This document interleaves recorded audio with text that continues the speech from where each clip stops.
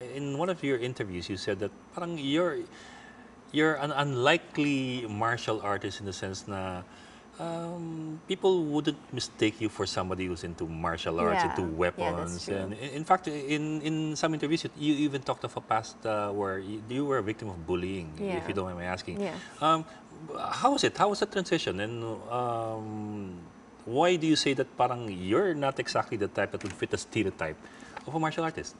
Um, when I was growing up kasi, I, I knew na I was a very meek uh, kid.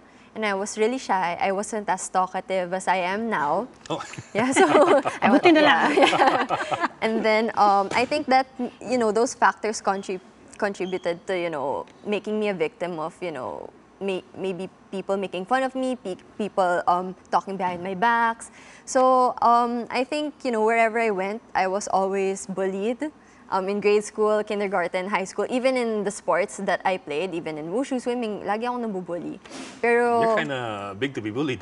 well, of course, it's not, what, not really a what factor kind of of bullying uh, physiology. for for wanting to be in so wushu or um, ano po yan? anong wh- why are you being bullied? Yeah, if you don't mind. Um, you I don't don't mind. know kasi um, ako kasi when I first started something or when I'm new to, you know, meeting new people, I'm really really quiet. And I'm really really soft, really really soft-spoken, meek, and I think, you know, people who probably have a strong demeanor, maybe, you know, they think mm-hmm. na they can tow- tower over me, something like mm-hmm. that. And I never really knew the exact reason why. Pero now, um, now that, you know, I'm here and I've competed at SEA Games and I'm I'm an athlete, mm-hmm. those people faded away. And it wasn't because I fought them or I stood up for myself. They just um, gladly faded away. Yeah. Do you still see them? Yeah, I do. I and do. then what's it like when you see them?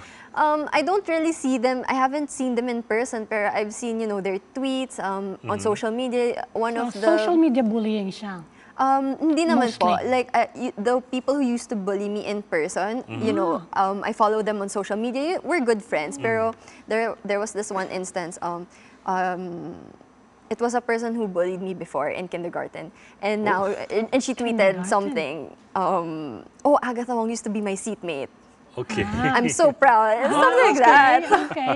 So it's a really funny story. So, yeah. Okay na siya. Okay, okay na siya. Okay na kami. Does she know that you remember? Um, I, I remember. I don't know if she remembers. Yeah. but it's a, it's a good. You uh, you've proven something that uh, that you didn't even have to prove. Yeah. I didn't, you know, I think I didn't expect to prove anything Yeah. naman, you know. I didn't really mind, you know, the haters, the bullies. I just really wanted to do wushu at the very beginning and I just really love my sport.